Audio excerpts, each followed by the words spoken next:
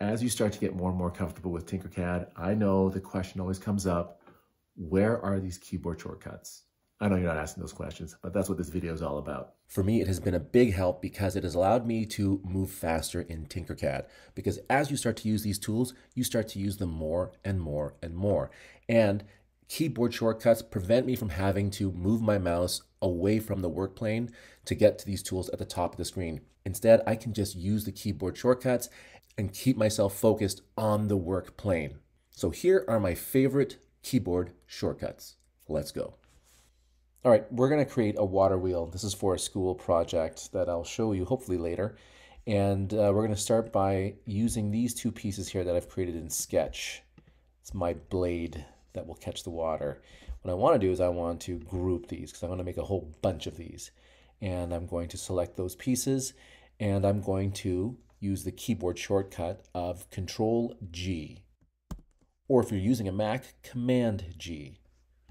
So there it is group Control G or Command G. Now, if I want to ungroup this, it's just Shift Control G or Shift Command G to undo the grouping or ungroup. Next, we're going to duplicate this blade that I have here or copy and paste it. So again, we're going to use the keyboard shortcuts. I'm going to select this object here and to duplicate it, it is Control D or Command D.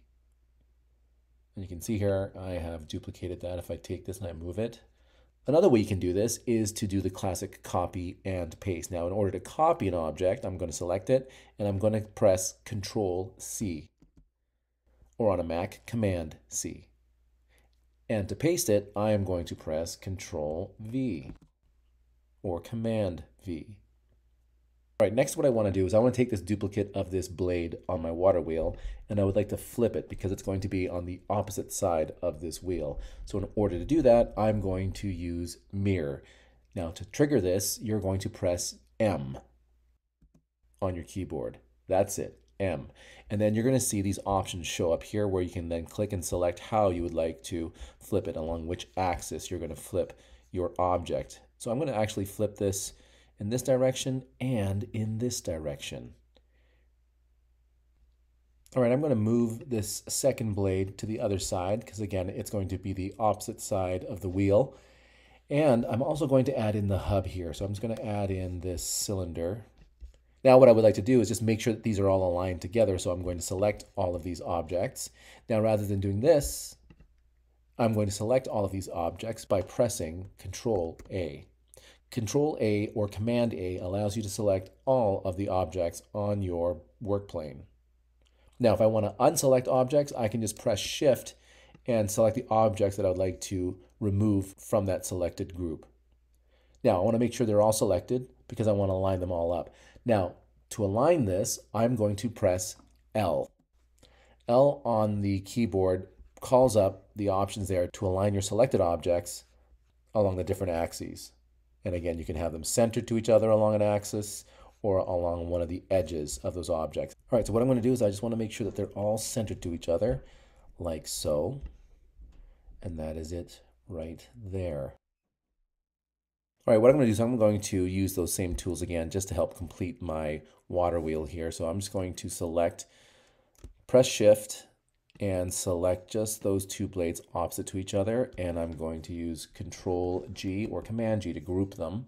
And now what I'm going to do is I'm going to duplicate this. So I'm going to do control D to duplicate that.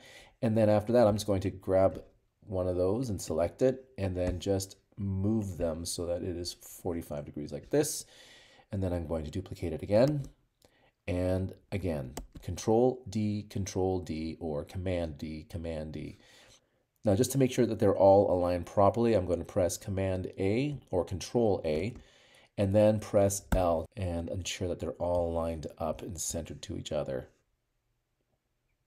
I think that's it. I'm happy with that. And I'm going to press Control A again or Command A and then press Control G to group them all. There you go. That is my water wheel. All right, the other thing I want to show you here is the ability to use the work plane tool and the drop option as well. So I'm going to select this and I'm going to sort of put it up on its end so you can kind of see what this is supposed to look like, like that. Now you're going to notice that this is sort of buried into the work plane there. Now I can quickly, by selecting the object and pressing D, have it so that this object is now resting directly onto the work plane. This would also work if I had the object suspended above it as well. So if I moved it and had it up here like this, I would just press D to drop it. And it drops it right onto that work plane. Now there are keyboard shortcuts for the work plane tool. By pressing W, I will call up the work plane tool. You can see there, there it is. And I'm going to place my work plane on that hub there. I would like to put this cube onto that hub. So I want to sink it in there. That's the way I'm going to attach it to the motor. Uh, and I'm going to adjust the dimensions of this. What I want to do is I want to drop this onto this plane that I've established there. So just by pressing D, you can see it just goes there. So again, the drop command or the drop keyboard shortcut works with the work plane tool as well. It's fantastic. All right, next I'm going to press Command A or Control A to select all those objects, and then the L key to call up the alignment tool, and I'm going to make sure that both those objects are aligned centered with each other. Oops, do that again. L, and I would like to have it by selecting my water wheel on the surface of that water wheel, just like that. Control A or Command A, and then Control G to group them all together. That's it. That's my completed water wheel. This is the beautiful thing about those keyboard shortcuts. It allows you to move so much faster because, again, your mouse does not have to leave the work plane in order to get to these icons and tools here along the top. You can just stay in your work plane and just use your keyboard to call up the different tools. I find it a lot easier to work. If you start to use this, you're probably going to have your own favorite keyboard shortcuts. And uh, I hope this helps make it faster for you as you start to really move in Tinkercad. All right, so I'm going to print this up. Let's see what we get and let's put it to the test.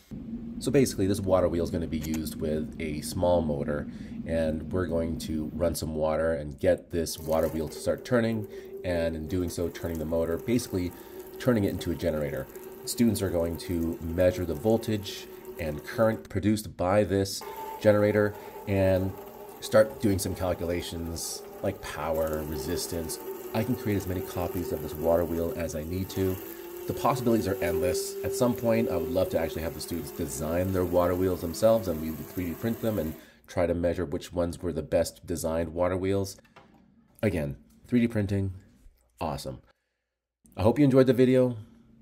We'll see you next time.